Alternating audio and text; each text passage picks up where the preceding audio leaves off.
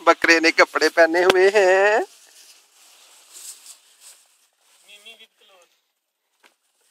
बकरे को भूख लगी है और ठंड भी लग रही है इसको।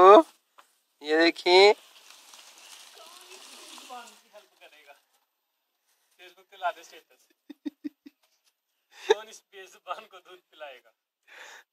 इसको भी इसको भी मीडिया की अटेंशन चाहिए।